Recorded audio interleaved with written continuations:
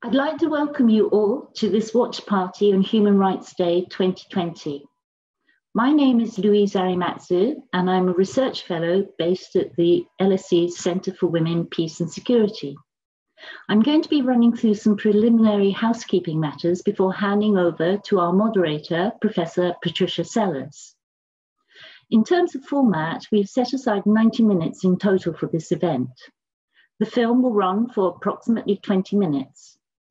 At the close of the film, Professor Sellers will be introducing the panelists who've been asked, among other things, to reflect on the film itself, as well as the broader legacies of the tribunal. About 20 minutes has been set aside for this conversation. We are, of course, keen to hear your views too. So we urge you to actively use the chat function on Zoom to share your views and to pose questions to the panel. During the last 30 minutes, Professor Sellers will be turning to your questions. Now, for technical reasons, and as is standard practice, your videos have been turned off and your audio muted. That said, I also wish to draw your attention to the fact that this entire event is being recorded and will be posted online, including the Q&A session. So if you wish to stay anonymous but would like to engage with us, please feel free to contact us outside of the event. This event today and the film that we're about to watch together was made possible by grant from the European Research Council to the Gendered Peace Project, a four-year research project led by Professor Kachinkin. This project has given us, as legal scholars, an opportunity to think critically about what a gender peace might look like and how such a vision or visions might be secured, including through international law. And so it was within this context that we decided to revisit what happened two decades ago to a moment in time where the potential for international law to deliver a gender just peace was realized, albeit fleetingly. To a moment when a group of women who shared a belief in the transformative potential of the law took action, confronted by the catastrophic failure on the part of states to do what should have been done decades earlier. The Tokyo Women's International War Crimes Tribunal was not the first people's tribunal, although it was the first women's tribunal of its kind. And what is remarkable is the fact that the organizers managed to bring together a group of individuals who are intellectually at the cutting edge of legal thinking as scholars and as practicing lawyers. No more so, so than Professor Patty Sellers, who played a key role as one of the chief prosecutors for the tribunal. Now, as many of you already know, Patty is also the special advisor for gender for the Office of the Prosecutor at the ICC. She's also visiting fellow at Kellogg College, Oxford, and a practicing professor at the LSE. She was formerly the legal advisor for gender and prosecutor at the Yugoslav and Rwanda tribunals. Patty will be leading the discussions following the film. We hope that this event will serve to inform, to inspire, to prompt questions, debates, and even motivate a new generation of activists to work to secure gender justice and a gender just peace. Thank you.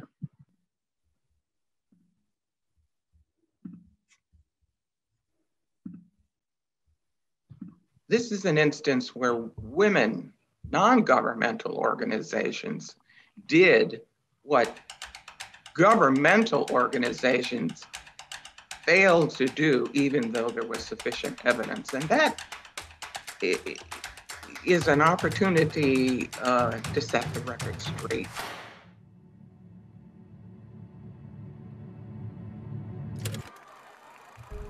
When the Second World War ended, although the Allied forces knew that there were women who were kept in sexual slavery. Patriarchal standards dominated, and, and crimes against women were just hidden.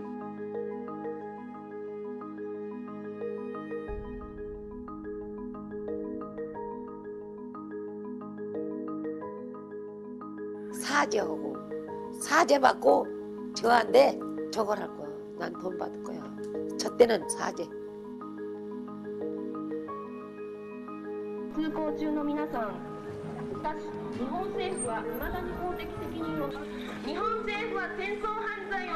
We are marching on the street. There's no time. It's a time. I mean, it's a, they are already old. These women were all in their 80s when they started to come out. They were sick and they were dying. One of the comfort women said, You know, I'm coming out because I need to get my soul back before I die. Litigation was being commenced both in the Japanese courts and in um, courts abroad, and essentially was getting nowhere by 1998, you know, we were really frustrated that nothing legal was moving. Many of the women had come forward. They would talk about the horrific experiences. Academics would then talk about why those were breaches of international law. Activists would talk about what they wanted to do, but there didn't seem to be a change in the international community. And the women realized that if they were ever going to have some sense of formal justice, that organizing a people's tribunal would be the best way to go. The People's Tribunal is created by and for civil society. It's an assertion that law is not just for states, it's also for people. And in the case of this tribunal, women's civil society. This idea came from Japanese activist and journalist Yayori Matsui. Yayori Matsui. Yayori Matsui came to me and said, Indai, we have to organize a war crimes tribunal. And it's really a tall order. She was very aware that we are perpetrator country. That's the reason why we should do. I said to Yayori immediately, sure, why not? Okay. Just like that, no question. But that is how I think history is made. You don't ask too many questions. You just say, okay, let's do it. I was asking Yayori uh, after the tribunal, and how come you could get that such a high profile judges and chief prosecutors? I'm a civil rights lawyer who became an international judge. I went to law school in the turbulent 1960s in the United States for the express purpose of being a civil rights lawyer. So this gave me an opportunity to kind of renew my passion uh, in my youth, as well as perhaps filling some gaps that I knew uh, existed in the uh, state of international criminal law at that time. I decided to join it myself as being a descendant of a slave and uh, everyone in the United States who's a descendant of a slave is more than likely a descendant of a female slave who has been sexually enslaved. So for me, there was a, a very natural uh, connection on a personal level, in addition to this was really the area of my professional legal interest at that time. One of the reasons I was willing to be involved in the tribunal is that there was this sense in which Japan would never truly admit what had happened during the Second World War. And it just seemed like doing something that was more formal might have a greater impact. I got a phone call asking me if I would be involved and if I would consider becoming one of the panel of judges. The very fact that this was an initiative of a number of different women's organizations across Asia and so that it was very much coming from them. I mean, it was a huge honor to be asked by um, such people. They were looking for a man because they had three women already. I was working with Kenya Human Rights Commission, where we were doing fantastic work on women's rights, gay rights. They asked me if I would, uh, you know, like to serve, and I said yes, I was ready. The legal experts and scholars were what we now know and call allies this was the start of my sort of human rights career. And just looking over the 20 years, this for me was one of the most incredible moments when civil society women leaders and activists, when legal scholars, when legal experts from around the globe, everybody came to Tokyo. We called it the Women's International War Crimes Tribunal. It was led by women. It was about the issue of women, you know. It was not a Yugoslavia War Crimes Tribunal or a Rwanda War Crimes Tribunal. It was a women's tribunal that addressed one core issue, and that is sexual slavery, rape, mass rape, sexual violence, forced pregnancy in wartime.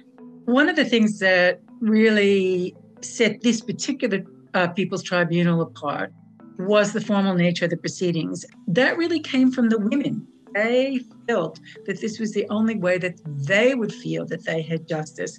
If something that had that very formal nature to it came to the conclusion that what had happened to them was a crime. Over in Tokyo, Japanese war criminals faced their trial, led by. We lived in certain myths uh, about what happened in World War II. And if it didn't get to the Tokyo Tribunal, it didn't exist. Of course, we don't remember what was absent and what, by all means, could have and should have been there. The framing of the tribunal was as a continuation of the International Military Tribunal for the Far East. We took a decision to only use the law that was applicable in 1945 to show that this very evidence at that time, in 1945 46, could have been adjudicated. The forum existed, the crimes had been committed, and could have been the basis of a conviction. Yes, there will be high military officials who are named in the indictments, as well as um, the Emperor Hirohito. Organizing the Women's International War Crimes Tribunal was really one of a kind. They worked across 10 countries to find the teams of prosecutors. In order to work together among 10 countries, of course, there were lots of uh, very tense moments. You think about lawyers from 10 different jurisdictions discussing with one another exactly how this is going to work. You can just imagine the discussions that took place. I could see them struggling and then achieving the ability to work harmoniously. And the fact that North and South Korea decided to become one team. I mean, that was just like, my gosh. And I was there. I can't stress enough the amount of work that went into this by historians and researchers digging into the military archives till 8 o'clock in the Everybody was working all the time. So there were at times so many um, different legal advisors, legal assistants, legal scholars, um, and diaries, as well as additional war documents. Other people were searching archives in London there were hundreds of people behind the scene who worked towards that. Everybody was able to work through it and, of course, come to uh, an agreement about what the charter for the tribunal would be and an agreement that it would take place in Tokyo. As you have in, in many situations of mass atrocities, you have populists and people who deny that those atrocities ever took place. We were certainly very aware of a great deal of hostility um, in Tokyo. We had to be careful going out. Um, I had to be careful going into the tribunal each day. Were right wing people demonstrating outside of the venue. Comfort women were prostitutes. Go back to your country, etc. You know, all kinds of um, hate speech and harassment. Were people outside not only protesting, but there were threats of harm? We knew we weren't welcome and that was the uh, the pleasure of that struggle. I, I felt like I always feel when I'm in a demonstration. You are emboldened, okay, because you you you feel this is a cause you can die for. Holding it in not just Japan but in Tokyo, in a a city that was this of empire was courageous, it was brave, it was truth to power. Uh, and I think for the survivors and for the women who came forward, it was a means of saying, I am here, I exist. The opening reminded me of the Tadić trials opening. because of the media, you know, and the number of, of attendees. Kudan Kaikan Hall holds 1,500 people. The third tier of that hall was filled with the international media.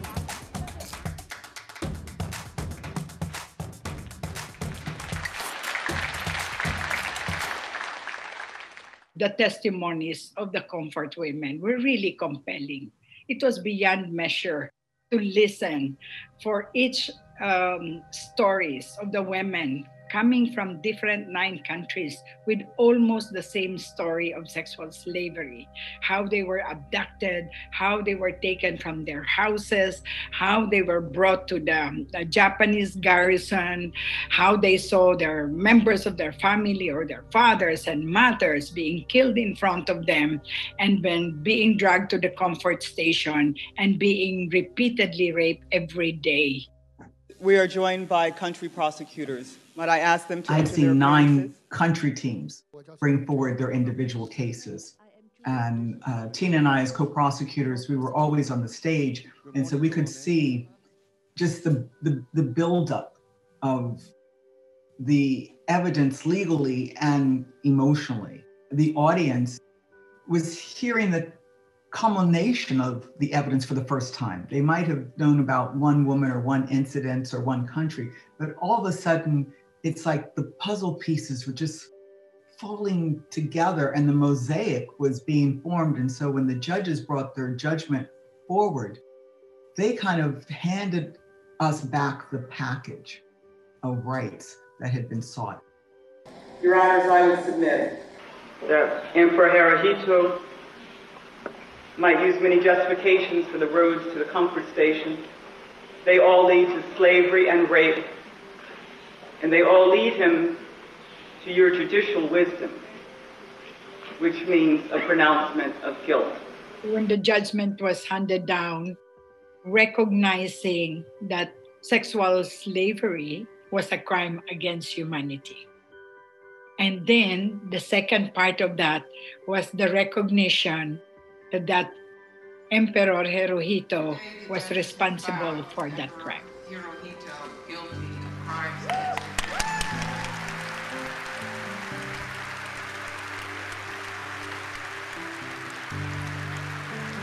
I can remember where I was sitting in that hall. Um, I can remember the faces of the survivors. The audience suddenly started clapping and shouting, and people stood up in their chairs. Um, and all the comfort women um, stood up and were celebrating. The comfort women went on stage and started crying. We all cried. It was almost like um, we achieved justice. We really did. They, they achieved justice. We too felt we achieved justice. I mean, I remember that stage when all the women were crying, you know, and really crying, hugging each other and waving and, and saying, yeah, at last, now, you know, justice is done to us. You know, we have achieved justice in our lifetime before we die. I mean, even Patricia Sellers, we were all crying and hugging each other. And it's not as if we didn't know what the verdict was probably going to be. I mean, that's what we've been working on. But I mean, your heart was still there the whole time. And so this is when the heart finally had a chance to kind of speak and release. And so I, I remember that moment as being just all consuming.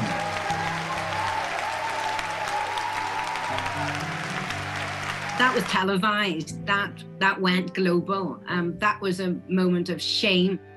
Finally, not their shame. Finally, shame that globally this was a failure of accountability on a, on a global scale. This is um, the judgment that was handed down. Have you ever seen this? Look, this judgment looks and purposely looks very similar to the judgments that were issued at the Yugoslav tribunal at the time, of which I have tens of others. It's a solid, substantive judgment that each of the women received in The Hague, and I remember them clasping it to their breast. All rise.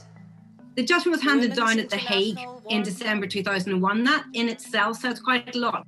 it was never done before. You know, that, you know, a group of women from nine countries come together and said, this is sexual violence in wartime. It is this happened 50 years ago and still happening today. What is the international community doing about it?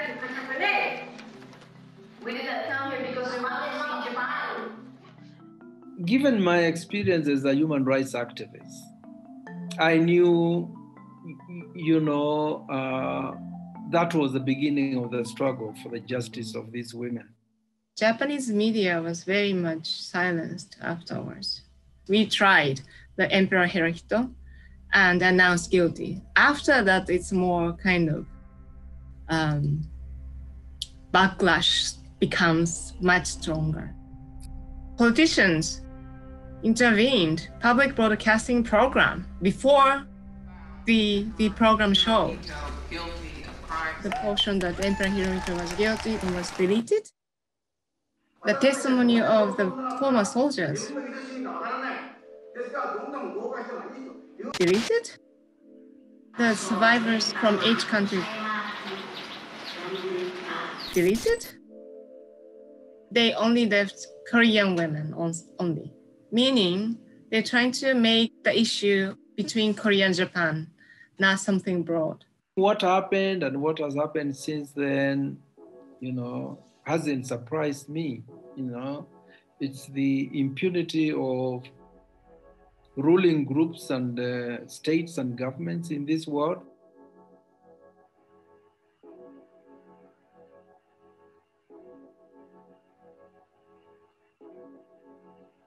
Yayori had been in hiding for about a month because of the threat from the right wing, threatening phone calls and then, you know, um, well, we will uh, uh, bomb you, etc. Very, you know, dangerous threats. That right-wing movement has continued. There's also been years of a government that's been absolutely unsympathetic um, to this issue. Looking back, of course, 9 11 happens, what, um, nine months later. That was very much an end to that early optimism of the, the 1990s and a very changed environment as we then moved into the new century. In recent times, we have seen around the world a pushback against gender equality and women's rights. Moving on two decades now, um, a very big pushback against human rights, against women's human rights, against women human rights defenders. This issue um, that we try to resolve at the Women's Tribunal 20 years ago. It's still happening. So without the common concerted efforts, uh, this will not go away. It is not over. The fight continues till today. What some people may consider to have been a failure can be a positive because it shows the inaction in the face of an abundance of evidence that is recounted. It shows the continuing failure of the government of Japan to do what it should do, what it can do, and still. Any freedom, any rights that we are enjoying currently uh, is the result of the struggle of our sisters, our predecessors, our parents' generation for every normative framework that is being recognized within the United Nations, there is a movement of women behind it that push for it and fought for it and talk about it. It was not like the United Nations one day said, ah, let's talk about women, peace, and security. No, that never happened. It was the women activists like us out there in the picket lines putting the rally, talking to the women who were victims of sexual violence that push the United Nations to recognize women, peace, and security. In order to uh, go forward, we need to remember, we need to celebrate what we have achieved so far. We defined interpretations of humanitarian law and international law and human rights law. We gendered the whole framework it also talks to what justice should look like. It centered victims within that process. And the International Criminal Court has gone on to do that. Our judgment, the Women's Tribunal judgment, is now being used by the ICC as one of the most gender judgment ever written.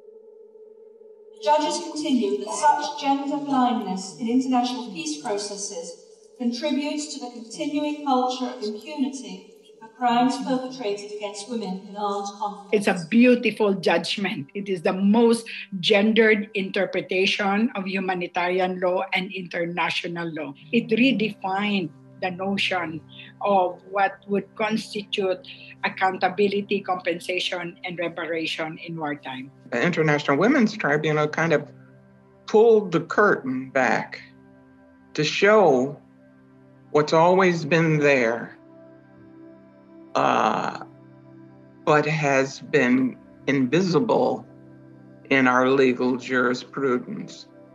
And once you open those curtains and see it, there's no going back. There's no going back. You can only go forward and build upon it.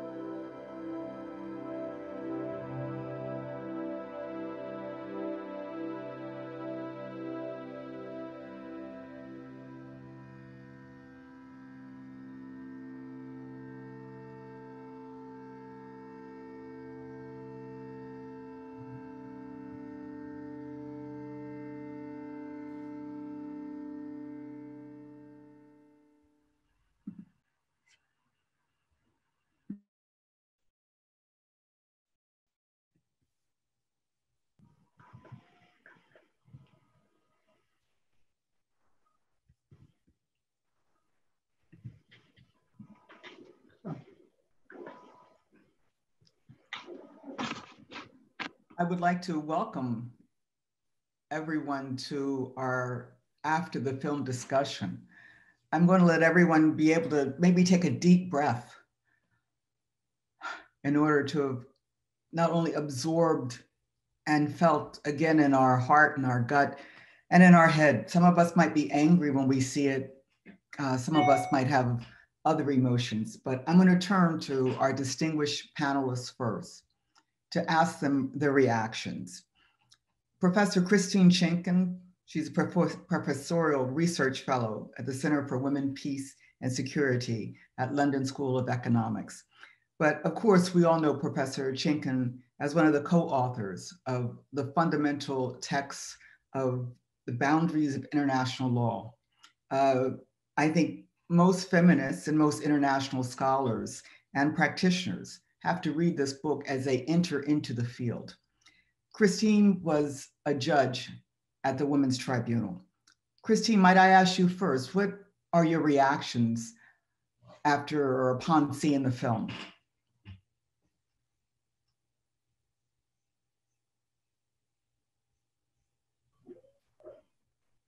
Thank you, Patty. And first thing I'd like to say is to thank everybody who was involved in making the film and for participating in it. I think we were just all absolutely overwhelmed with um, the level of participation. Um, the emotions, um, the intensity of it again. And I think this um, balance between the very formal legal aspects and the very intense, emotional, heartrending testimony that we were hearing. And I think the other uh, that really came back to me as judges, we weren't involved at all in the organization. It was the organizers were very clear that we were to be kept separate, we were to be impartial, we weren't to be involved in that. And then looking at the documentary, just the level of organization that the organizers and the work that they put in, I think they thought of every detail how to ensure the testimony of the women, how the Japanese government's arguments would be put, um, how the written evidence would be brought alongside and to support the oral evidence. And it was just an extraordinary feat that the organizers put together. And I think that really came back watching the video again. Absolutely. Uh, I'm now going to turn to the Honorable uh, Gabrielle Kirk McDonald. And Judge McDonald was the former president of the International Criminal Tribunal for the former Yugoslavia, and she's been a judge in several other jurisdictions, usually and always a first among women and among African American women to hold any of these positions. Uh, judge McDonald was also a judge at the Women's Tribunal. And so I'm going to ask you now, after having seen this wonderful film, what are your reactions or reflections upon it? Thank you, Patty. Um, and uh, I also want to welcome not only the participants, my fellow participants, but all of the viewers.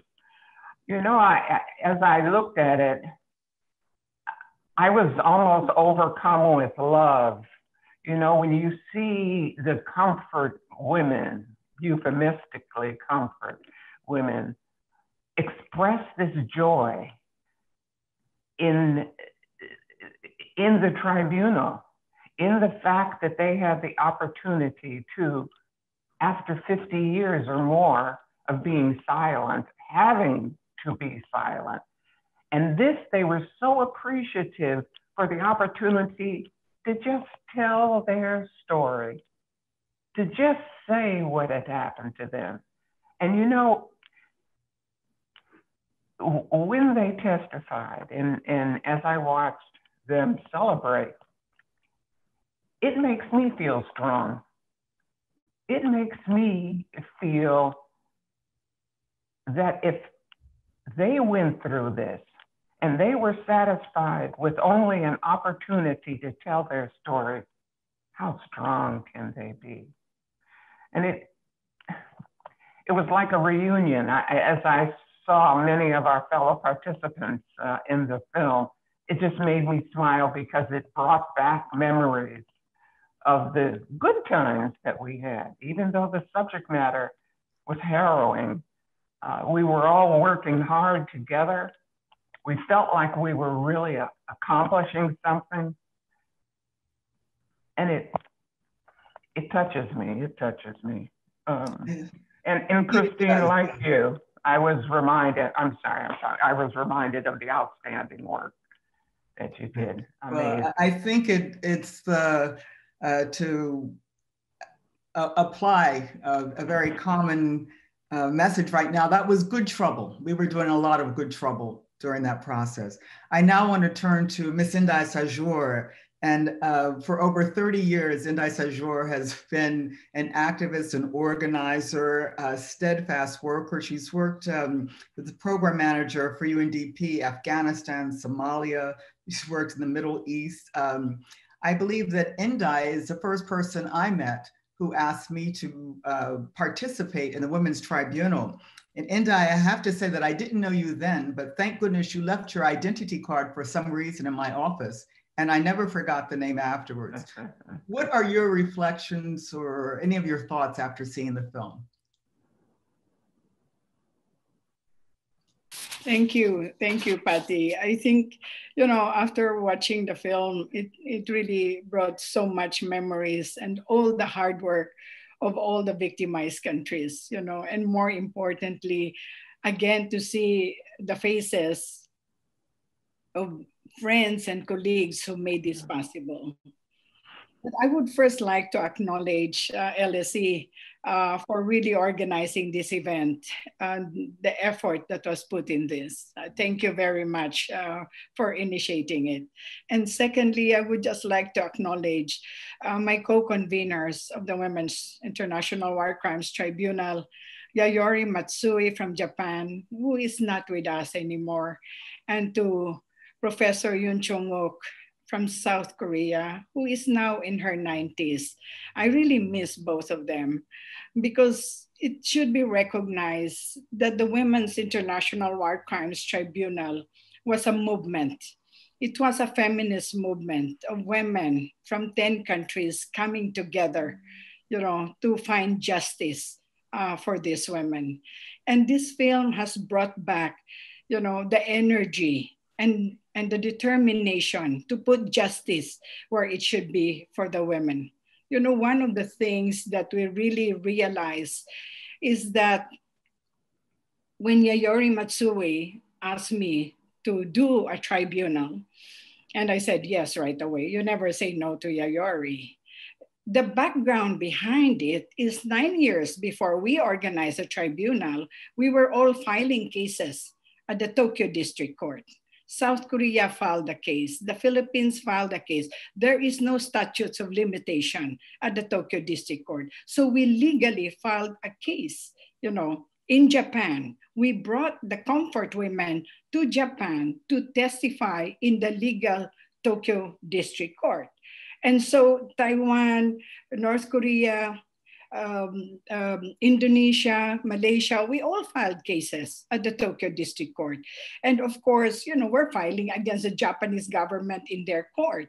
So it was not even a question whether we're going to win it or not. We won it. The mere fact that the comfort women went to Japan, filed a case against the Japanese government, that movement started it all. And so it led towards organizing the Women's International War Crimes Tribunal, which really culminated in terms of the legal struggle of why it's important for them to realize that justice has been done. If the Thank you so much. I, I appreciate um, not only your recognition that the movement behind it and the feminist movement. And if I can interject just for a second as a moderator, my reflections on the film is that it was wonderful not only to see the women, but to see the different legal teams.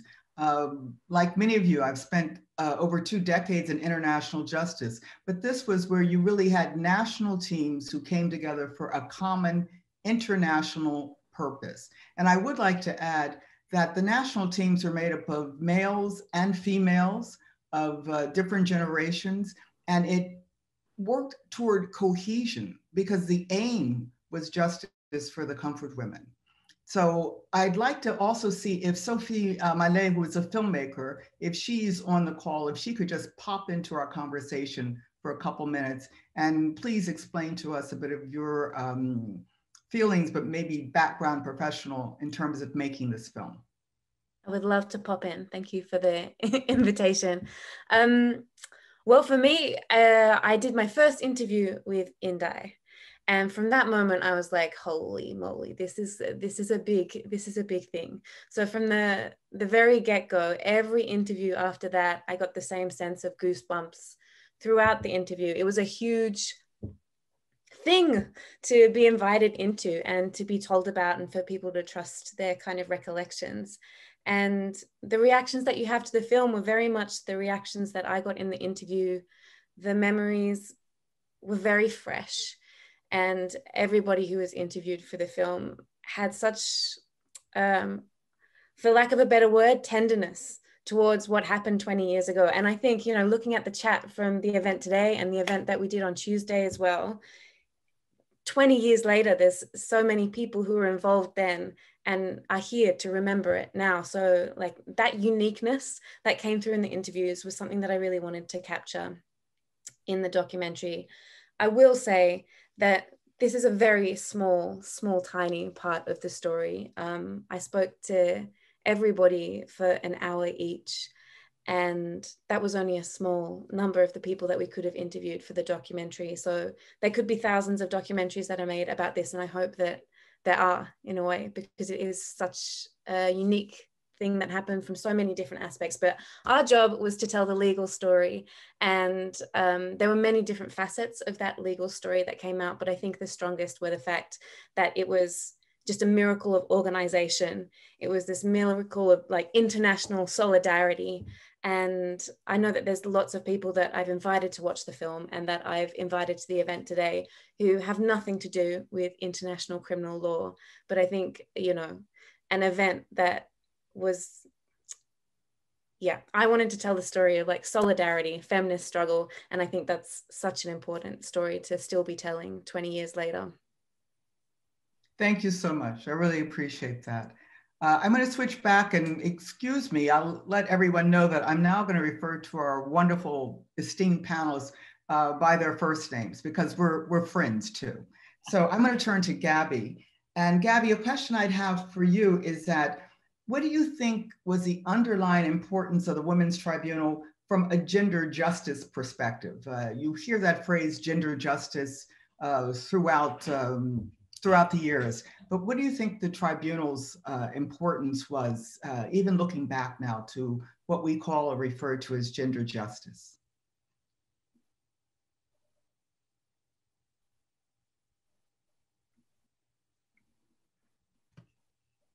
I think you might be on mute.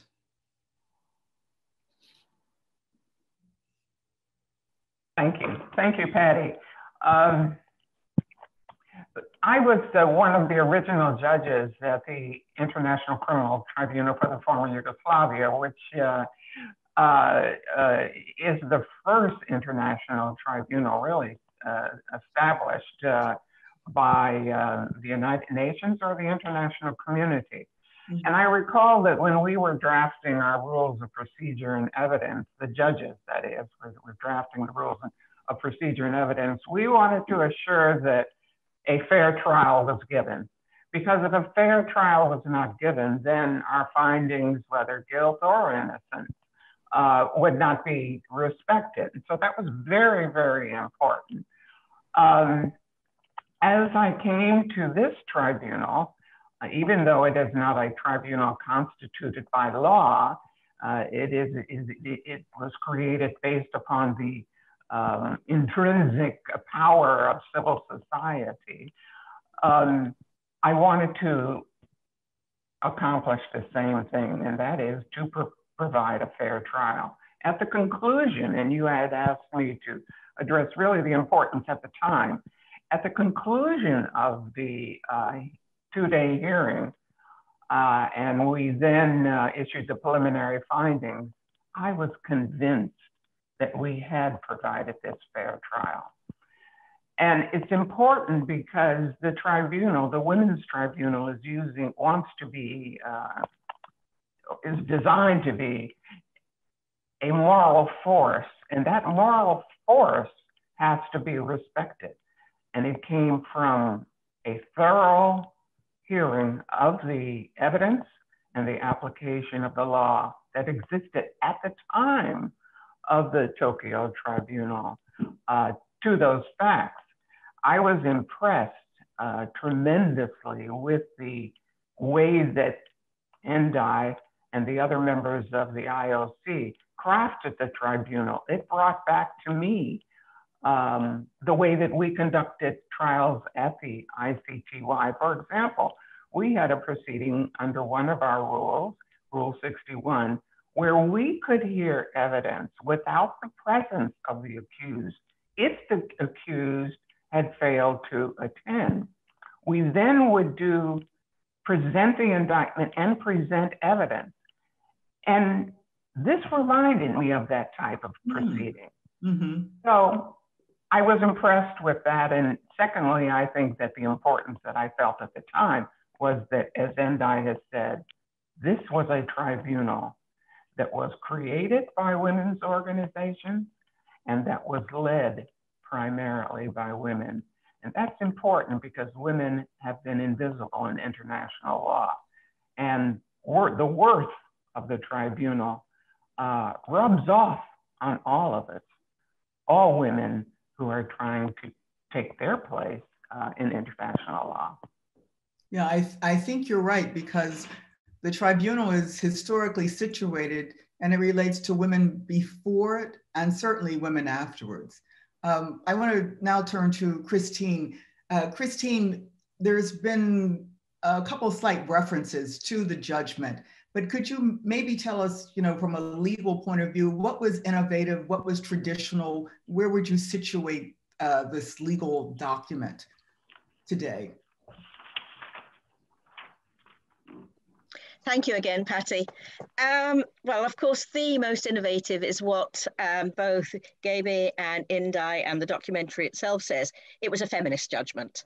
And it really weaves throughout the whole legal analysis the importance of taking into account women's voices and especially marginalized women, women who came from um, groups within their societies who were in various ways, either because they were ethnically different, because they were poor, because they were from occupied countries, they were colonial, um, colonized, Japan being at that point the colonial power with um, Korea and Taiwan.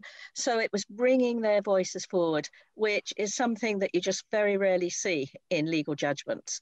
But more legalistically, and I think what's really important about the judgment legally is the point that Gaby has just made that it was the law as it was in 1945. And this builds from the innovation that the International Women's Tribunal was a continuation of the IMTFE as it sat in 1945, 1946, the immediate aftermath of World War II. It was, um, and there's been quite a lot of legal writing around this, it was an as if, as if that tribunal had done its job properly and considered these additional crimes that were not part of the indictment back in 45, 46. That meant the law had to be the, the law of 45. And so the emphasis on the Hague Regulations of 1907 on the customary international law relating to slavery. Um, the law was there. It was absolutely there. It just needed to be brought out. But then what was further innovative was that some of the legal developments that were happening at that time, in particular before the ICTY, as Gaby again has just mentioned, shows this continuity of the law. There was nothing, although it was innovative, there was nothing that wasn't grounded in existing law. Mm. And so I think that really brings out that any tribunal can do this. We weren't creating law, we were applying what was there. And the further development showed this continuity. And I think that was really important. A um, couple of other, it was innovative in that it brought together state responsibility, state responsibility for violations of human rights, mm-hmm. with international criminal liability for those who individually um, were criminally responsible for the commission of those crimes, including, of course, the Emperor Hirohito, and the um, charges and bringing the discussion of the superior responsibility of the Emperor Hirohito as the supreme power in Japan, I think again was um, innovative. And perhaps just one last one the state of Japan, in conjunction with the various Allied powers in the peace treaties that followed World War mm-hmm. II, right. had essentially said this is final settlement, there are to be no more claims, we have dealt with this issue. And I think what the tribunal says very strongly is these were crimes against humanity. Crimes against humanity, by their very definition, do not concern just the individuals, they concern humanity. And humanity suffers when those crimes are committed with impunity and without accountability. And no state should be able to waive its accountability for crimes against humanity. And I think that is a very powerful statement as well. Well, you're making me think that in some ways it was very innovative, but it looks like that the tribunal and the, the legal boundaries, if I can use, you know, the words from your uh, book, were really uh, grounded and respected. Yes. I mean, we, we applied the law that should have been applied. And it was basically a reopening of the Tokyo Tribunal. And it Which, wasn't something of 1990s or 2000, you know, bowing to political correctness, if I understand you which goes back to Gabe's point of a moment ago that for legitimacy and credibility for a fair trial, we had to have that grounding in international law. And as I said, it just shows that the law is there, it can be used, it can be made to work and made to work in ways that bring, to go back again to your own words a moment ago, gender justice. Right. Okay, Indai, uh, you've told us that this is actually the result of a social movement, of a feminist social movement. And let's be very clear, a feminist social movement that took part very much in Asia and Australia, and then within the diaspora. And I'm just wondering, could you tell us now what occurred prior that brought the feminist movement to that point, and what has occurred since then? Thank you. Thank you, Patty. I will build on to what Gaby and Christine was saying.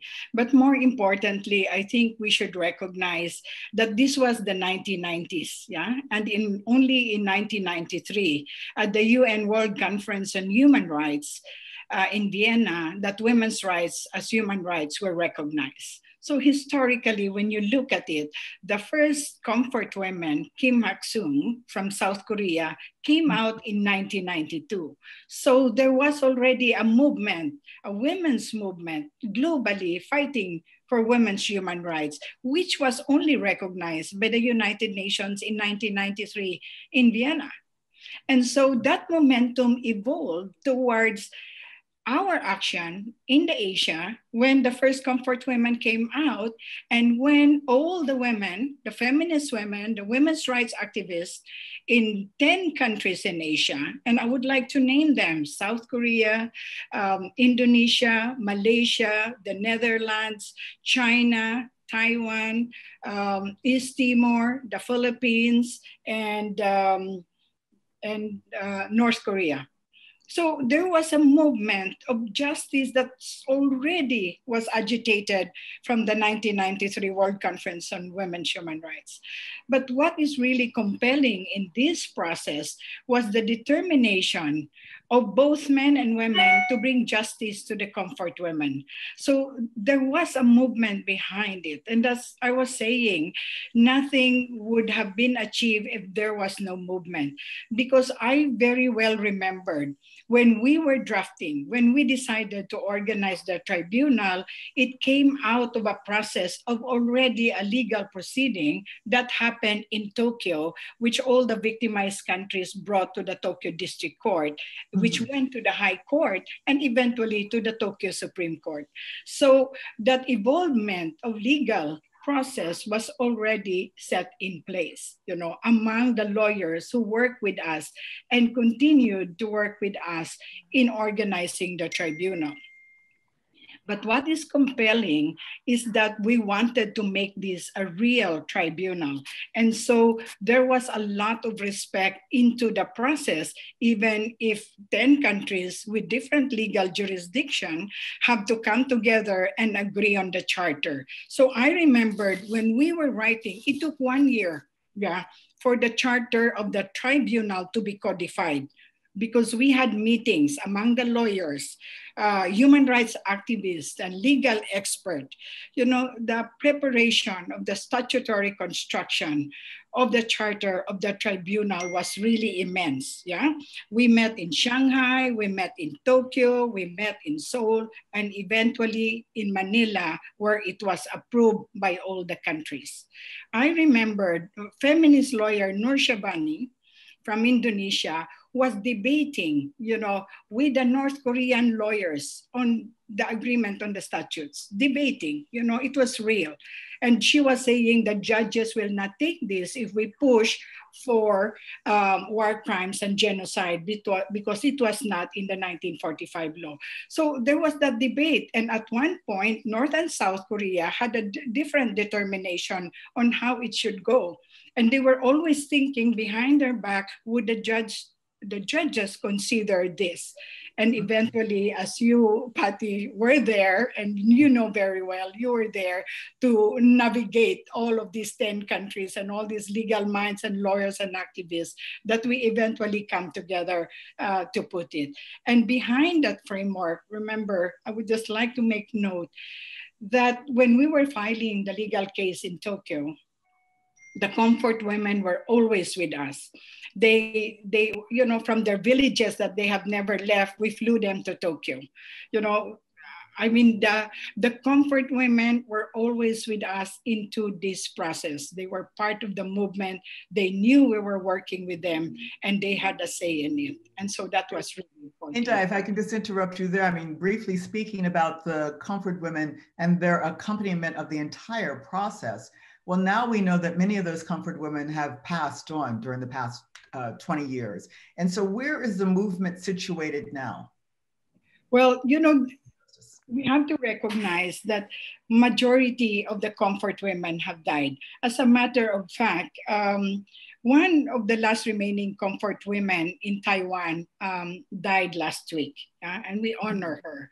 There is only one um, Taiwanese comfort women um, that is still alive, and a number of them in the Philippines, in, in, in, in South Korea, in, in all the victimized countries. Most of them died, and the activists informed us when they all pass away, and we honor them where the movement is now, the movement is still there. You know, the, the energy is still there. In Japan, we have the Women's Active Museum that continues to bring the issue of the comfort women and to make it uh, available to the Japanese uh, population to look at.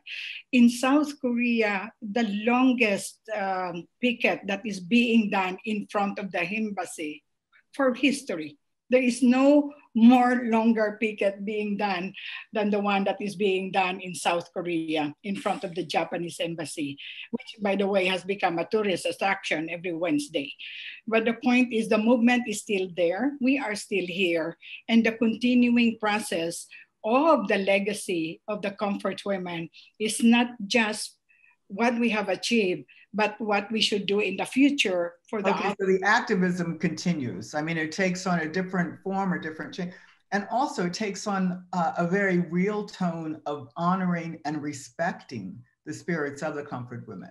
Uh, Christine, I wanted to ask you something because uh, we we've seen that activism uh, very much was the engine, I think, with the Women's Tribunal, and then all the other actors, judicial actors or practices and academics came in. How do you see uh, the Women's Tribunal, uh, Christine, how do you see that intersecting with uh, feminist peace activism, either of today or, or before? Because you mentioned in the movie that uh, without a gender justice, you won't have peace.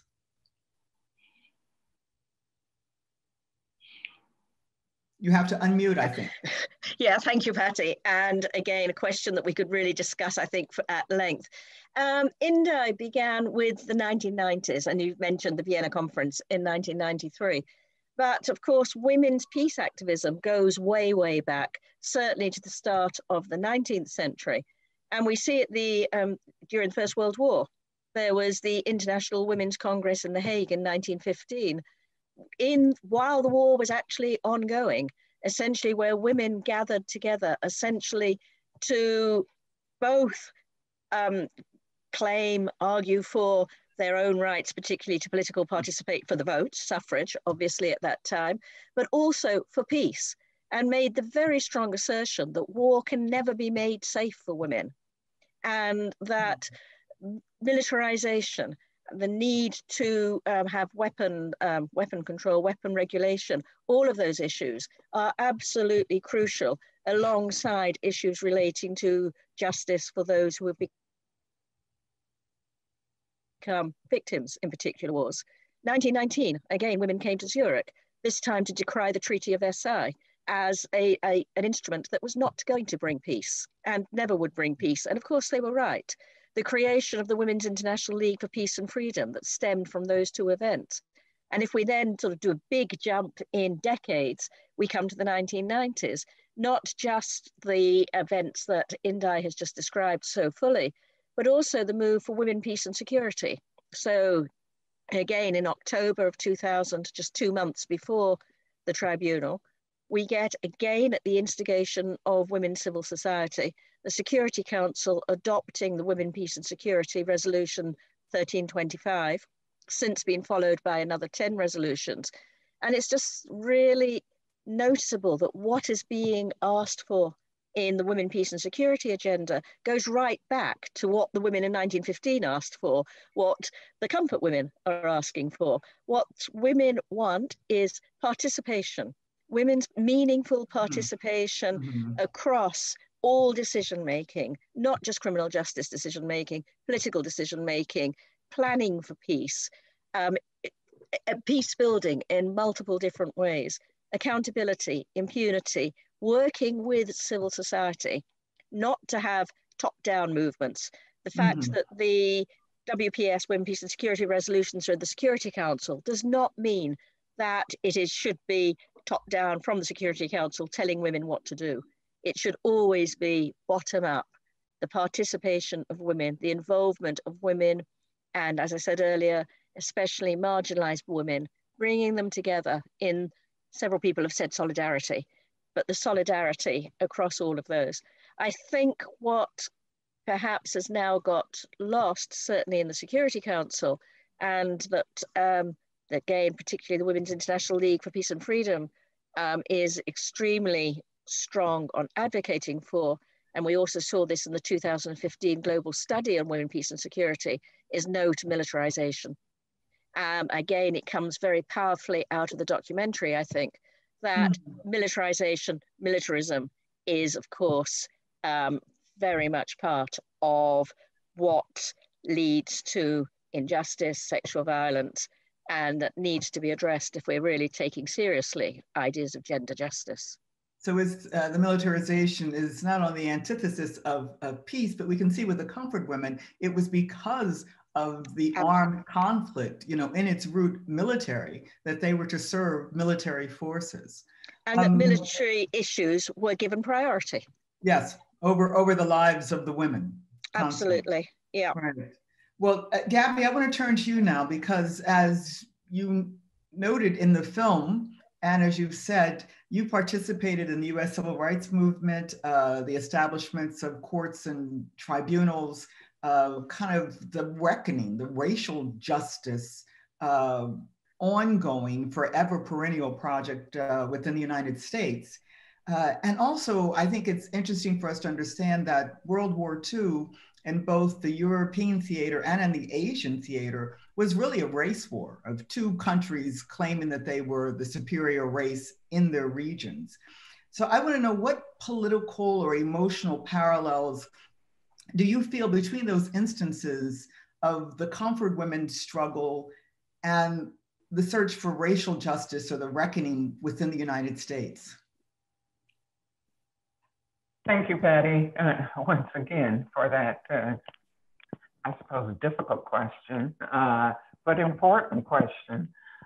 I think that there are parallels, and unfortunately, each of those movements, and as Indai said, it's a women's, uh, comfort women are now in a women's movement, but all of them, all of them share a characteristic, and that is that there is unfinished business and that there is much work left to be done. I think that the Women's International Tribunal went as far as it could in providing a fair trial, as, as I indicated, as, uh, gathering uh, the evidence, making a historical record to guard against revisionism, which still exists. Uh, school books uh, tell a different story, an untrue story about the comfort women, or they're left out totally. So all, all three, both the former Yugoslavia, civil rights uh, in, our, in my country, in the United States, and the situation for comfort women is in that, in that uh, situation. Um, but uh, it seems to me that there are some parallels. Um, Goler Teal Butcher, who is a noted Black woman, she's deceased now, Black woman lawyer, scholar, professor, said that human rights are civil rights written on the international stage. So there is a lot of similarity, and I tried to bring that home, I suppose, when I presided over the Tadić trial. I remember one of the witnesses who testified was a reporter from Belgrade. And he was trying to analogize the conflict in the former Yugoslavia with the situation, the racial situation in the United States. And he said, he testified that if David Duke uh, had assumed control of all of the media in the United States, and we were constantly uh, barraged by uh, this propaganda that they're coming to get you, the Muslims are coming to get you, the Croats are coming to get you, the Serbs are coming to get you. You too would have war. Mm-hmm. Well, it, it, you know that sounds familiar in a sense to where we are in the United States. Um, but I suppose the emotional parallel is is is what again Indai has been saying. It's the passion, it's the, it's the belief that we will keep going and that we will not give up. We will not give up. And that, I think, is, is uh, applicable uh, to all three instances. In the former Yugoslavia, it has returned to the nationalism that existed before the war and before the tribunal issued uh, so many judgments. So there's a lot to be done uh, with the civil rights movement. Uh, the protests uh, really are an in the United States are an example of this unfinished business. And there's unfinished business for the comfort women. But we're not giving up. All we have to do is to see the film showing the enthusiasm and strength uh, and tenacity of the comfort women. Uh, and it, it emboldens us to go forward and to push for these things. The, the fine thing, one of the fine things about the judgment of the tribunal is that it went further than um, uh, traditional judgments, even the ICTY. And Christine has spoke, spoken very well on it. But the relief that the comfort women uh, were receiving, wanted to receive, was much broader. They wanted a frank, full, genuine apology from Japan mm-hmm. as to what their experiences were. That has not happened. Uh, they wanted, and it is included in the judgment, reparations, full reparations. That's not happened.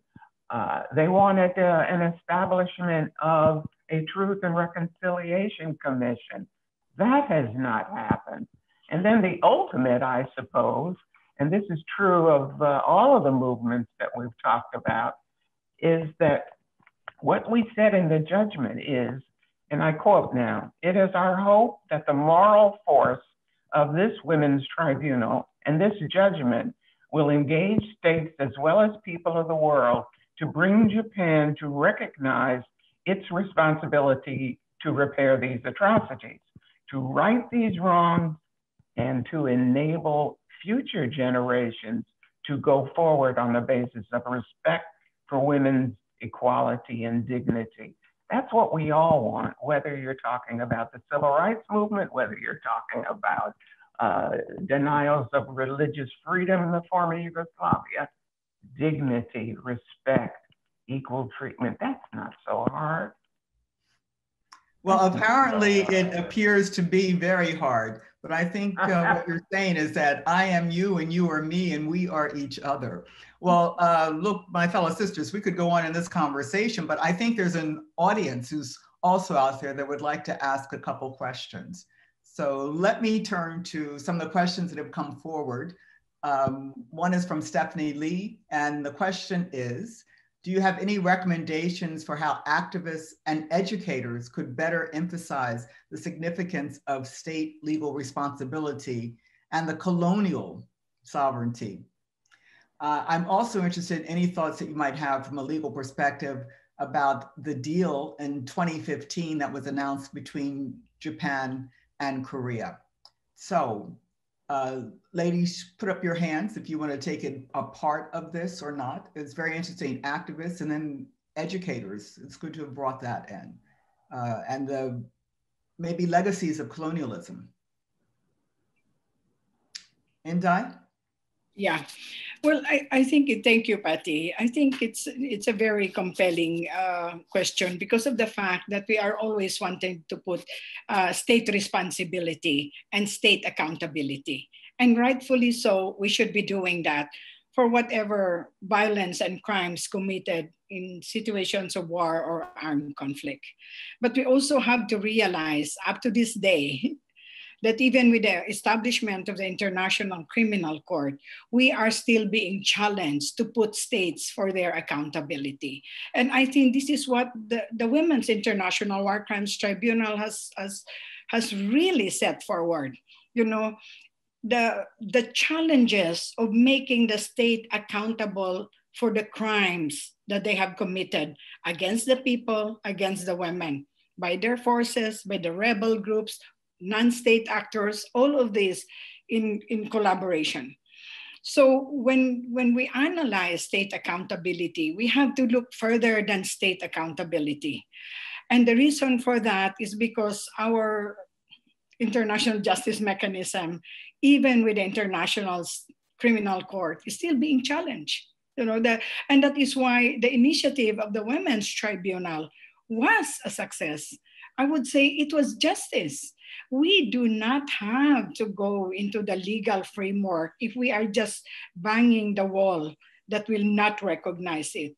One of the lessons learned, and this was very well described by Gabby and Christine and all my colleagues, was that what kind of justice it brought to the former comfort women what kind of satisfaction it brought to them because i remembered when that when Gabby said the judgment in the Hague and in Tokyo, the, the impact into the lives of the comfort women was much more important.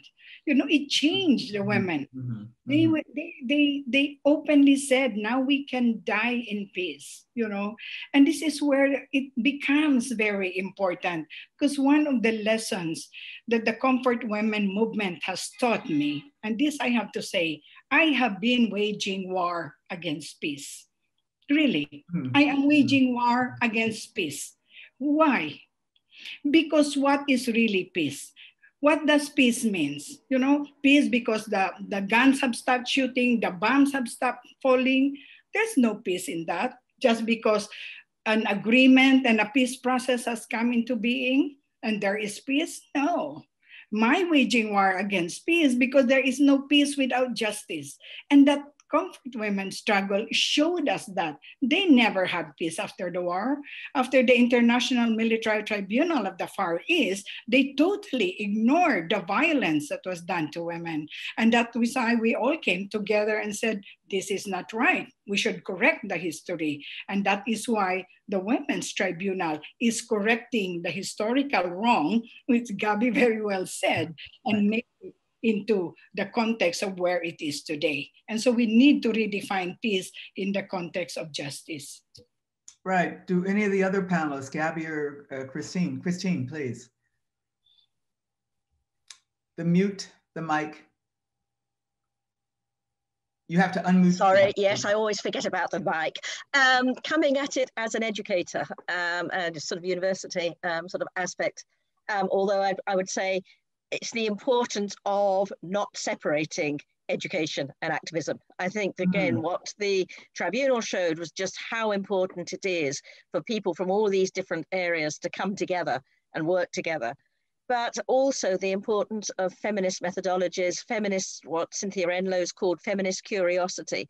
Um, Indai has just given a very good example of it. We need to challenge what is meant by peace. We need to challenge from a feminist perspective how we understand the various concepts that are so often included in university education without that critical challenge. We're seeing it now with a great deal of the post-colonial um, work challenging the narratives of colonization and imperialism. But I think we still need to add the feminist um, lens into those particular challenges. And I think alongside that, feminism challenges the classic categories.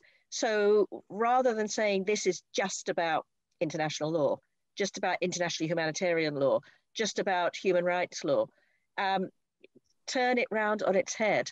Say, from the perspective of the survivors, what do those categories mean? They mean absolutely nothing. What it means is let's start from their experiences. What is it that is preventing the justice being accorded to them. Let's challenge all of those obstacles from that feminist lens and come up with an answer um, with a strategy, with tactics for achieving uh, those in different ways. And I think that's very much part of education as well as activism. Thank you. Look, there's a second question, and it ties a little bit into these general comments that we're making. And, and that is from Catherine O'Rourke. Did any of the panelists feel actually constrained by limiting uh, yourselves to the 1945 uh, law coming out from the original uh, Tokyo Tribunal? And is there a type of tension of wanting to legitimize yourself uh, by using a law that maybe isn't as applicable as we seem to be um, asserting that it is? Are there some more fundamental deficiencies in that law that maybe we should have had more in mind?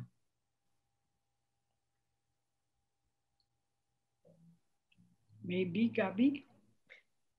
Yeah. Well, if not, I'd like to uh-huh. answer it. yeah, so I, am going to take the prerogative. Um, that after all of these years, when I look at the uh, judgment, and I think the judgment is absolutely wonderful, but we also look at the um, experience of women, and in particularly uh, women who have been placed uh, in what I call sexualized enslavement, that neither of the um, international military tribunals, Nuremberg or Tokyo, really had a specific uh, crime that related to slave trading. Because what comes out in the yeah. evidence when you read it is that the women were abducted, they were kidnapped, they were transported, um, they were um, through subterfuge uh, made to come into these various comfort stations. And while in the Nuremberg judgment or London Charter, you have deportation to slave labor. Our whole mixed notion of, well, is, is sexual slavery really labor or is it really enslavement or what? But we kind of jumped over that, that deportation um, now, I would have considered that and probably would have asked the nine country uh, prosecutors to also put forward a charge of slave trading that they did with these women by bringing them into the system and then transporting them around from comfort station to comfort station. And that's when you transport someone already enslaved to a different slavery situation. So, looking back now, I feel that yes, there might have been a constraint um, with just how we interpreted some of the 1945 uh, law but there was also uh, a need to somewhere legitimize within the international legal community of the 1990s, which was looking so much at international criminal law for the first time, that these were real crimes that could have had criminal law solutions. Can I just? And Pat, oh, go ahead, Anton. Yeah, no, just Go Gabby. Go Gabby, the most switch back to Patty, I just wanted to put in a plug for the wonderful uh, law review article that you've written on that subject. Uh, yeah. and if it has whetted any, if, if your uh, uh, intervention has whetted anyone's appetite, you, you might tell them where they could find it in a further discussion right, the International Journal of Criminal Justice, and then there'll be a forthcoming book in which uh, Christine is participating too, a feminist uh, critique of international uh, law again this spring. So thank you. Thank you, Gabby. Yeah. Indai? No, I was just about to add on because we're talking of the crimes here. And I think one of the things that um, the Comfort Women testimony has taught us from, you know, as, as Christine said, the feminist uh, interpretation of humanitarian law and international law and all the crimes committed against women. You know, the testimonies of the Comfort Women, how they become sex slaves. You know, we realized just listening to their testimonies that there was more than one crime that was committed from each comfort women. It was not just sexual slavery, there was hmm. abduction, you know, there was rape, there was torture, there was mutilation, there was trafficking. So when you look at it, there was more than one crime committed against each of the comfort women. It was not just sexual slavery. They were repeatedly raped, which was the essence of sexual slavery, which, by the way, we brought the language to the United Nations. But more importantly, most of them were trafficked. The South Korean women went to Burma, you know, the, the mm-hmm. Filipino women went to Taipei, you know, all of this. They were they were part of a system that have created such horrendous violence against them they were tortured. They were mutilated. They were they were forced into abortion. They were forced into pregnancy. So when you put all this crime there was more than one crime committed against each of the comfort women. And those testimonies defined it and our critical thinking and feminist thinking allowed us to say yes there was more than one crime. So actually the judgment is is but a slither or a fine, uh, you know, dissection of the multitude of crimes that occurred.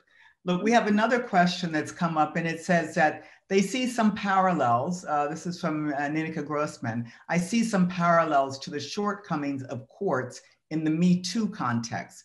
And do you think that such a women's tribunal would be helpful in the Me Too context uh, that women are expressing around the world today in terms of sexual assaults or harassment, uh, and basically in the non armed conflict context?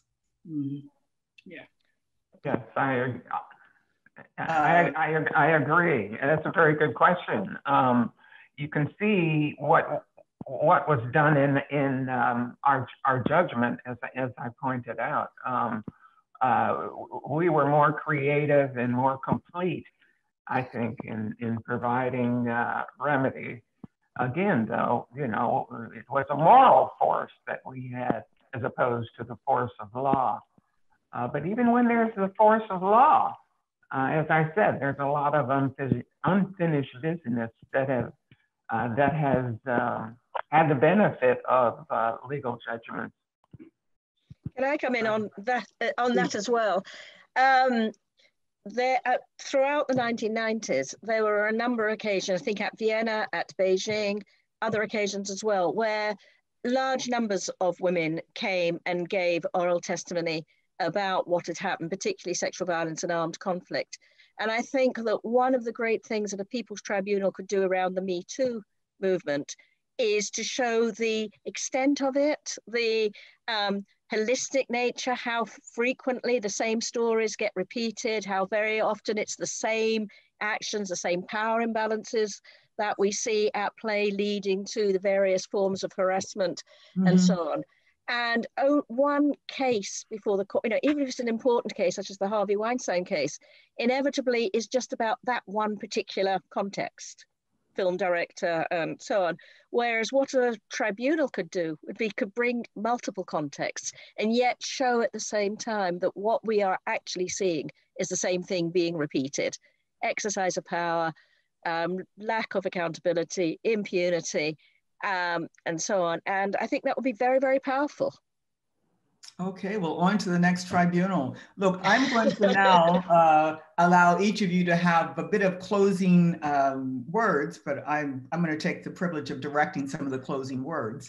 Uh, I, yeah, I, would like to, I'd like to know, Indai, could you speak uh, briefly on what do you think um, uh, right now should be uh, done to carry on this legacy of the Women's uh, Tribunal? Any concrete solutions or ideas? Well, yeah, thank you, Patty. Um, you know, the, the judgment gave 12 recommendations. I think we all remember those 12 recommendations. that the judges have, have given us. And one of those uh, recommendations is even the establishment of the Truth and Reconciliation Commission to ensure that the historical records of the comfort women during, you know, during that time, uh, the transition and the occupation and the colonization should be put in place. And that was one of the compelling recommendations by the judges. And the other one was, of course, to honor the victims and survivors through the creation of memorials, museums, and libraries dedicated to their memory you know, and as we say, the promise of never again. And this mm-hmm. never again is more important than it is today because we have seen the Yazidi women in Iraq also uh, subjected to sexual slavery in this, you know, 21st century. And that should not happen again.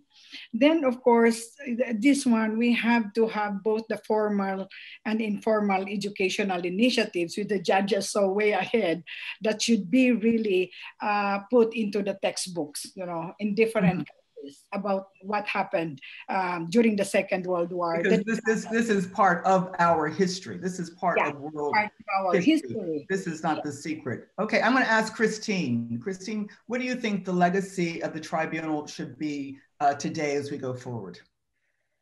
Oh, can I just um, make a plug though, just to, um, on what Indai says? We have actually put up on the website of the um, Centre for Women, Peace and Security extracts from the judgment, including mm. the recommendations, because I think it is quite often inaccessible and people might, you know, want to have at least um, the core, the sort of some of the key essence of it. Um, what's the legacy of it? I think twofold. One is keep on resisting keep on um, resisting against all the pushback that we are seeing at the moment.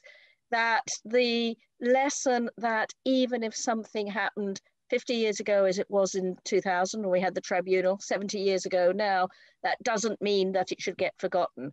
That historical record is important, that historical record based upon the testimony of the survivors and then argued in such a way as to show the importance of all the things that Indai's just been talking about and the, the whole package that might amount to justice shouldn't and cannot be forgotten. But then to add on, we have this Women, Peace and Security agenda from the Security Council, 20 years as well, same length of time as the tribunal. And in that, we see um, states making commitments that they just as quickly forget about and don't follow through on. And so many of the issues that are contained within that agenda are set out and that they should therefore be um, put into effect. They shouldn't just be the subject of a Security Council resolution and then promptly forgotten and not being brought to people, women in particular, in conflict affected areas, women who, in different ways, women human rights defenders worldwide, all of whom are struggling to bring that peace. And I think that we just need to see the tribunal perhaps as part of this broader package of resistance, continuing the struggle. I think um, Gabby said it beautifully, or maybe it was Indai in the documentary. It's not finished. Um, and as Willie also said, you know, we need to continue that resistance. Well, Gabby, I'd like to turn to you and see if you have a couple of closing comments in terms of the legacy of the tribunal. Well, as it relates, if I, if, if I may just go back to your earlier questions, I would commend uh, to uh, anyone, uh, any young lawyer or old lawyer, uh, or anyone who is passionate about uh, achieving gender justice, take a look at the judgment because there's still other unfinished business. For example, um, there was a recommendation that the former allies uh, allied nations declassify all military and governmental records, um, and uh, that an advisory opinion be uh, um, requested from the International Court of Justice and others. So it's not over yet. When I was teaching, many of my students would say, oh, what can we do? What can we do? The civil rights movement is over. Of course, that was 20 years ago. So you, it, it, it, it wasn't over 20 years ago. It's not about uh, over uh, today. So there is still work to be done, and they should be in touch with. Uh, you can find Indai. Indai won't let you go if if, if you call her. um, uh, one legacy is, is, as I said before, really that uh, the governments uh, do not have a monopoly um, on the justice system. Uh, I think we show that, that, that grassroots organization can create an effective tribunal and dispense justice. The other thing is that um, it shows that women can take charge. You know, we know that, that we've been invisible.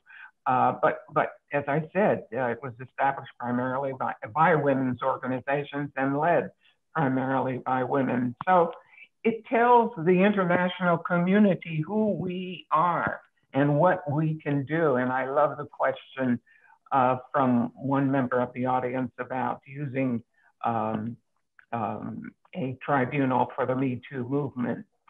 Um, the final thing is, is something I forgot to mention, Rhonda Copelon. Rhonda Copelon has passed on as well. She was a fine lawyer, professor, activist, and she played such a tremendous role um, in the um, uh, preparation of the final judgment, which you showed, uh, Patty, to the to the audience. She came uh, to Tokyo with students uh, uh, and exposed them as well, um, uh, exposed those young women as well to what we were doing. Um, we could go on and on, but I suppose. Look, I, am I'll thank questions? you. No, and I think the um, uh, last little reflection I'll have before turning it back over to Louise is I think that the world community should have the courage to look the female slave in the eye and to feel her courage, her heart yeah. uh, that will give us justice as, as defined uh, by the enslaved. So I want to thank um, my wonderful friends and panelists and Louise. This has been a fabulous uh, commemoration that gives us really strength to go on. We're in the midst of a historical movement and it's right within our own lives. We should live it in that manner. Louise, back to you. Thank you, Patty. So in concluding, I'd like to make two very short announcements. First, to reiterate the point that Christine has already referred to, that we have actually posted on our website two key documents comprising extracts from the judgment. The first document is um, some of the voices of the brave women who spoke out. We do so because the paradox of legal processes is that all too often it is the victims' voices that are silenced. The second document, as you all now know, comprises key legal passages from the judgment. And you can find the link to both these documents in the chat box. Finally, I'm going to do something a little bit radical here. I invite you all to unmute yourselves and to enable your videos. I'm going to give you a few moments to do this, and I do so because I'd like you to join me in thanking our moderator, Patty. So, Patty, thank you and our panel members, Gabby, Indai, Christine, for sharing their time and their personal reflections with us today. And I also invite you to join us in taking this opportunity as a moment, perhaps of feminist solidarity, by remembering and thanking all those who made the tribunal possible. So thank you very much. Thank you. Thank this you. was wonderful. Brilliant. Truly, truly wonderful. Bravo, bravo. bravo. Brilliant. Wonderful, wonderful. Bravo, bravo, bravo. Good job. Bravo. Fantastic. Bravo. Bravo. Fantastic. Thank you.